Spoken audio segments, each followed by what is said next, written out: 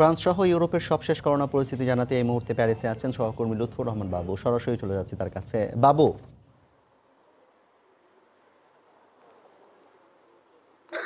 জাফর, আপনি আসলে যেমনটি জানতে চাচ্ছিলেন, প্রাণঘাতী করোনা ভাইরাসে ফ্রান্সে এখন পর্যন্ত নব্বই হাজারের বেশি মানুষ আক্রান্ত হয়েছেন এবং মারা গিয়েছেন আট হাজারের বেশি মানুষ।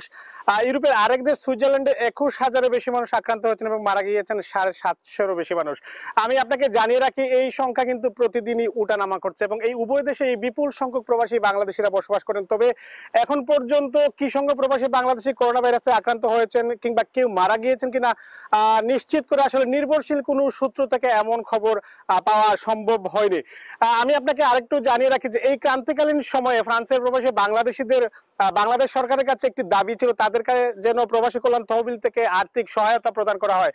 বাংলাদেশ দূতাবাসের পক্ষ থেকে একটি প্রেস রিলিজের মাধ্যমে জানানো হয়েছে, বাংলাদেশ সরকারের পক্ষ থেকে বিশ লক্ষ টাকার একটি অনুদান বরাদ্দ দেওয়া হয়েছে এবং খুব শীঘ্রই তারা এখানে যারা করোনা ভাইরাসে আক্রান্ত হয়েছেন কিংবা এই ধরনের সমস্যা যারা ভুগছেন, তাদের মধ্যে তথ্য উপাত্ত সংগ্রহ করে তাদের মধ্যে আসলে এই বরাদ্দটি বন্টন করা হবে বলে বাংলাদেশ দূতাবাস ফ্রান্স থেকে এই বিষয়টি জানানো হয়েছে। আমি আপনাকে আরেকটু জানিয়ে রাখি যে আরেকজন রেল কর্ম রেল বিভাগের একজন কর্মকর্তা এখানে করোনা ভাইরাসে মারা গিয়েছেন। এর আগে আরেকজন মারা গিয়েছিলেন, এ নিয়ে দুজন রেল কর্মকর্তা ফ্রান্সে মারা গেলেন। পাশাপাশি আরেকজন ডাক্তার প্রাণঘাতী করোনা ভাইরাসে মারা গিয়েছেন। এর আগে মারা গিয়েছেন আরও ছজন অর্থাৎ এখন পর্যন্ত সাতজন ডাক্তার ফ্রান্সে কিন্তু করোনা ভাইরাসে মারা গিয়েছেন। পাশাপাশি দেশটির স্বরাষ্ট্র- স্বরাষ্ট্র মন্ত্রণালয়ের একজন মুখপাত্র জানিয়েছেন, এখন থেকে আইন শৃঙ্খলা রক্ষাকারী বাহিনী আসলে আরও কঠোরতা অবলম্বন করবে, অর্থাৎ প্রয়োজন ব্যতিরেকে যারা রাস্তায় বের হবেন তাদেরকে আগের থেকে আরও কঠোরতা অবলম্বন করা হবে এবং তাদেরকে আসলে জরিমানার মুখোমুখি হতে হবে। আমি আপনাকে জানিয়ে রাখি, ইতিমধ্যে কিন্তু কয়েক লক্ষ মানুষ